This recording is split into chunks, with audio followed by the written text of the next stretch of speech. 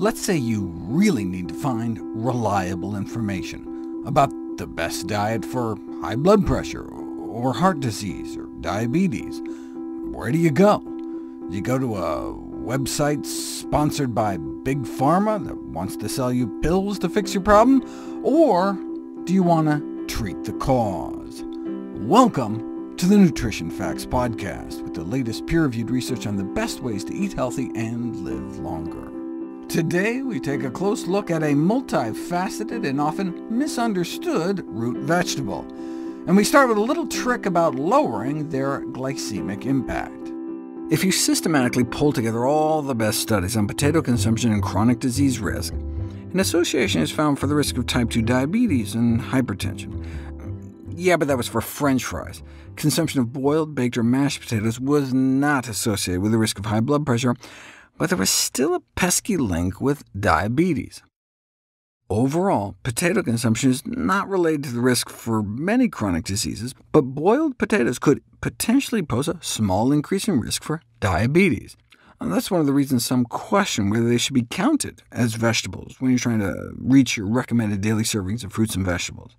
If you look at other whole plant foods, nuts, vegetables, fruits, and legumes, which are beans, split peas, chickpeas, and lentils, they're associated with living a longer life, significantly less risk of dying from cancer, dying from cardiovascular diseases like heart attacks, and 25% less chance of dying prematurely from all causes put together, but no such protection is gained from potatoes for cancer, heart disease, or overall mortality.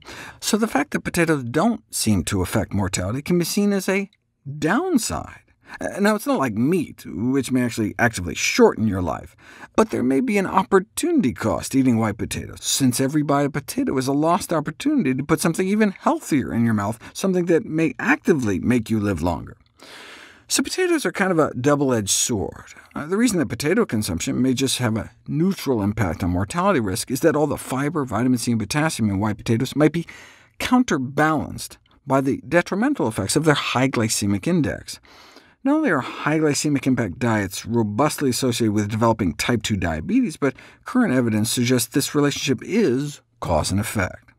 Now, a front group for the potato industry, called the Alliance for Potato Research and Education, funded a study that found that intake of non-fried potato does not affect blood sugar markers. But that's compared with the likes of Wonder Bread, so that isn't really saying very much. Foods with a glycemic index above 70 are classified as high GI foods, high glycemic index foods, and those lower than 55 are low GI foods. Pure sugar water, for example, is often standardized at 100. White bread and white potatoes are way up there as high glycemic index foods, but when you compare them to an intact grain, like barley groats, also known as pot barley, a super low GI food, you can see how refined grains and potatoes are simply no match. Is there any way we can have our potatoes and eat them too, by somehow lowering their glycemic index? Well, if you boil potatoes and then put them in the fridge to cool, some of the starch crystallizes into a form that can no longer be broken down by the starch-munching enzymes in your gut. However, the amounts of this so-called resistant starch that are formed are relatively small, making it difficult to recommend cold potatoes as a solution. But when put to the test, you actually see a dramatic drop in glycemic index in cold versus hot potatoes. So by consuming potatoes as potato salad, for instance, you can get nearly a 40% lower glycemic impact. The chilling effect might therefore also slow the rate at which the starch is broken down and absorbed. So individuals wishing to minimize dietary glycemic index may be advised to pre-cook potatoes and consume them cold, or reheated. Uh, the downside of eating potatoes cold is that they might not be as satiating as eating hot potatoes, but you may get the best of both worlds by cooling them, then reheating them, which is exactly what was done in that famous study I profiled in my book How Not to Diet. The single most satiating food out of the dozens tested was boiled, then cooled, then reheated potatoes. There's actually an appetite-suppressing protein in potatoes called potato protease inhibitor 2, but the way you prepare your potatoes makes a difference. Both boiled and mashed potatoes are significantly more satiating than French fries. Mm, that was for fried French fries, though. What about baked French fries? Folks had a big drop in appetite after eating boiled mashed potatoes compared to white rice or white pasta, which is right where fried french fries were stuck, as well as baked french fries. So though they may be your BFF, they're not very satiating. In our next story, broccoli, vinegar, and lemon juice are put to the test to blunt the glycemic index of white potatoes. White potatoes have a high glycemic index, and consumption of high glycemic impact foods may increase the risk of diabetes. Normally after a meal, we'd like our blood sugars to just gently, naturally rise and fall. But with high glycemic foods like potatoes, you get an exaggerated blood sugar spike, which leads your body to overcompensate with insulin, forcing your blood sugars lower than when you started, which results in negative metabolic consequences, such as a rise in triglyceride fats in the blood. However, uh, potatoes are a good source of potassium, vitamin C, and polyphenols, which may counterbalance the glycemic impact.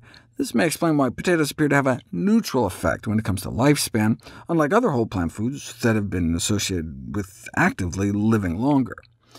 I detailed my uh, nip and nuke method, uh, where the act of chilling potatoes can dramatically lower their glycemic index, even if you then reheat them in a microwave. How else might we reduce the glycemic impact of white potatoes? The answer is the same way you make anything better in your nutritional life — add broccoli. The co-consumption of two servings of cooked broccoli with your mashed potatoes would certainly do it, immediately cutting the insulin demand by nearly 40%. In contrast, adding chicken breast makes things worse, and adding tuna fish makes things even worse still, nearly doubling the amount of insulin your body has to pump out. But why does plant protein make things better, but animal protein make things worse? because decreased consumption of branched-chain amino acids improves metabolic health. Uh, I cover this in my book, How Not to Diet. Speaking of how not to diet, uh, remember the section on vinegar? Here's the blood sugar and insulin spike someone with prediabetes can get from eating a bagel. Feed that same bagel with a tablespoon or so of apple cider vinegar diluted in about a quarter cup of water, though. The impact is significantly less. Does it work for potatoes too? Simply chilling potatoes may cut down the blood sugar and insulin spikes, but to get significant drops in both, you just have to add about a tablespoon of vinegar to drop levels by 30 to 40%. And that was just plain white distilled vinegar. Is it the vinegar itself, or would any acidy condiment do? In a test tube, lemon juice appeared to have a remarkable starch-blocking effect, but you can't know if it works in people until you Put it to the test. And indeed, lemon juice reduces the glycemic responses to bread, and not just by a little, but like 30%. Uh, now, the subjects were drinking a half cup of lemon juice, but that makes it even more remarkable that it helped, because that added an extra half teaspoon of sugar, yet they still had a better blood sugar response. Uh, vinegar is more potent, though. Just 1 to 2 tablespoons a day of vinegar diluted in water can significantly improve both short and long-term blood sugar control in diabetics, which is why clinicians may want to incorporate vinegar consumption as part of their dietary advice for patients with diabetes. Finally today, are yellow-fleshed potatoes healthier than white? Let's find out. The high glycemic impact of potatoes may increase the risk of type 2 diabetes, perhaps by chronically overstimulating the insulin-producing cells in the pancreas. In my last two videos, I explained how you can decrease the glycemic impact of white potatoes by eating them cold, or chilling then reheating them, or adding broccoli, lemon juice, or vinegar. Uh, what else can we do? Well, if you remember, I had a, a video a few years back that showed how the Pigments in brightly colored berries can act as starch blockers. So if you're going to eat a high glycemic food, you may be able to moderate its impact by spreading you know, raspberries on your toast, for example, or, or adding strawberries to your cornflakes, or sprinkling blueberries in your pancakes. Uh, no, I'm not saying you have to put blackberries in your baked potato, but given that the natural color compounds in fruits can slow down starch digestion, what about pigmented potatoes. Even just yellow potatoes like Yukon Gold may be preferable to white, but the best may be purple potatoes. Not just purple-skinned potatoes, but purple-fleshed potatoes. If you've never seen purple potatoes, they are remarkable. They have almost a neon blue glow. And not only do they look cool, but purple potatoes cause less of an insulin and blood sugar spike compared to even the yellow-fleshed potatoes, suggesting that switching from yellow or white to purple could have a large potential public health benefit. How do we know it's the pigments themselves that are responsible, rather than other differences between the different potato varieties? Now, researchers tried adding a control comprised of berries and a potato starch jelly, but that would seem to add even more variables. In a test tube, extracts of purple and red flesh potatoes can act as starch blockers, so hey, if you can extract and purify out the purple potato pigments, say that five times fast, you could remove any other effects of the different potato varieties by adding the purple pigments to yellow potatoes. And lo and behold, compared to just plain yellow potatoes, you can get a suppression of the blood sugar and insulin spikes this way you don't get that overshoot reaction, where your blood sugars can actually drop below fasting, like you might get otherwise. Instead, you get the gentler up and down in blood sugars you'd expect from a lower glycemic food. The authors suggest purple potato extracts could be produced and made into supplements or fancy functional foods, but these health-promoting compounds may be more cost-effectively received from consuming purple potatoes themselves. The Potato Association of America likes to paint potatoes as an anti-inflammatory food, but what they don't tell you is that this benefit may be limited to pigmented potatoes. If you randomize people to eat a small white potato every day for six weeks versus a yellow or purple flesh potato, the purple potato group achieves significantly lower levels of inflammation compared to the white potato group, measuring both C-reactive protein and interleukin-6 pigmented potato consumption also alters oxidative stress. Within hours of eating a large purple potato, you get a nice 60% bump in the antioxidant power of your bloodstream, and this translates into less free radical DNA damage. If you compare the antioxidant activity of white potatoes, yellow potatoes, and purple potatoes, Yukon Gold has about twice the antioxidant power of white, but purple has 20 times the antioxidants, which is comparable to what you might see in berries half a purple potato has about the same polyphenol antioxidant complement as half a cup of blueberries. Purple potatoes can increase the antioxidant capacity of our bloodstream, whereas straight white potato starch can act as a pro-oxidant and decrease it. Eat a purple potato, and over the next 8 hours, the antioxidant capacity of your bloodstream goes up. In contrast, if you eat white potato starch devoid of any pigment, you can end up worse off than where you started. OK, but does this translate into different physiological effects? Yes, indeed. Have people eat either purple potatoes or white potatoes for two weeks, and the purple potatoes improved a measure of arterial stiffness, whereas the white potato did not. And this translates into a drop in blood pressure, even in those already taking high blood pressure drugs, suggesting purple potatoes are an effective blood pressure-lowering agent. But what about the toxic glycoalkaloid compounds in potatoes? Uh, the toxic human dose starts around 2 to 5 milligrams per kilogram of body weight, and the lethal dose is not too far behind. The average amount of total glycoalkaloids in most potatoes, however, is less than 100 milligrams per kilogram. So at the average American weight of 180 pounds, a toxic dose is like 4 to 9 pounds of potatoes. What happens when you approach that? Mm, possible uh, nausea, vomiting, and diarrhea that could easily be confused with something like gastroenteritis or food poisoning. Some people can start to get sick at just 1.25 milligrams per kilogram of body weight, or even 1 milligram per kilogram.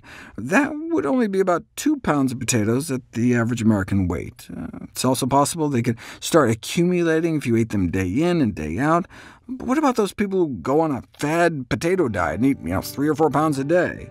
They can do that without risking getting sick only if they peel their potatoes, which removes nearly all the glycoalkaloids.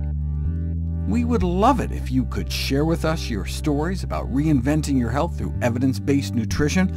Go to nutritionfacts.org slash testimonials. We may share it on our social media to help inspire others. To see any graphs, charts, graphics, images, or studies mentioned here, please go to the Nutrition Facts Podcast landing page. There you'll find all the detailed information you need, plus links to all the sources we cite for each of these topics. For a timely text on the pathogens that cause pandemics, you can order the ebook, audiobook, or hard copy of my last book, How to Survive a Pandemic. For recipes, check out my second-to-last book, my How Not to Diet cookbook. It's beautifully designed with more than 100 recipes for delicious and nutritious meals. And all the proceeds I receive from the sales of all my books goes to charity. NutritionFacts.org is a nonprofit, science-based public service where you can sign up for free daily updates on the latest in nutrition research via bite-sized videos and articles. Everything on the website is free. There's no ads, no corporate sponsorship. It's strictly non-commercial. I'm not selling anything. I just put it up as a public service, as a labor of love, as a tribute to my grandmother, whose own life was saved with evidence-based nutrition.